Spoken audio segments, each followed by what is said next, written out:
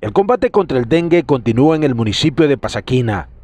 Este martes se retomó la fumigación, acción que se realiza con el apoyo de la municipalidad. Reiniciamos por segundo día consecutivo lo que es la actividad de fumigación acá en el casco urbano de Pasaquina, ya que tenía previsto ya hace un par de semanas esta actividad y el día de ayer pues en coordinación con la alcaldía municipal de este lugar eh, hemos iniciado una vez más la actividad que teníamos pendiente. Estaba programado lo que es el eh, caserío del Talpetate, ya se hizo eh, hace unos, unas semanas antes y hoy pues se continúa acá con el objetivo de eh, eliminar lo que es el zancudo en su etapa adulta, precisamente. Después que se ha batizado, se continúa con lo que es la actividad de fumigación a fin de evitar más casos de dengue. La alcaldía aporta recursos humanos para la actividad y aporta también vehículos para poder eh, andar los insumos, entre otras cosas, diésel y gasolina. Y también las bombas, pues las bombas son pertenencias de dicha institución municipal. En lo que es el Ministerio de Salud, pues aporta a mi persona como un recurso técnico, valga la palabra, y también aporta el veneno para dicha actividad, deltametrina o caotrin. A la fecha se reportan cinco casos sospechosos en este municipio.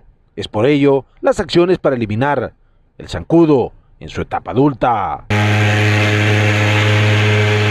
Quizás no es tan alarmante ni tan eh, fácilmente decir que no hay nada, porque así tenemos, aquí en nuestro municipio tenemos tres, prácticamente aquí en el casco urbano, tres y hay dos en lo que es el área rural.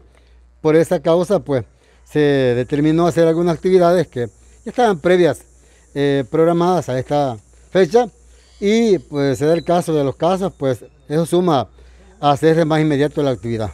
Por el momento hemos fumigado ya barrio El Calvario, eh, barrio La Vega, eh, Plaza Nueva y, y, continuamos acá este día con lo que es barrio La Delicia, que llevamos ya un 40% de avance. Para este viernes 29 de abril se tiene previsto una jornada de intervención por parte del CIBAS y la Unión y el apoyo de las unidades de la zona norte. CIBAS eh, programó alguna actividad eh, a nivel de eh, lo que es eh, con el apoyo de la zona norte del departamento, háblese de promotores de salud, inspectores, enfermeras y algunos médicos que podrían darse también cita a esta actividad.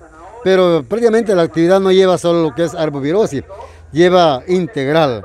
También vacunación COVID, lleva saneamiento ambiental y búsqueda de tarjetas de control de niños, de niños sanos y otras, entre más actividades.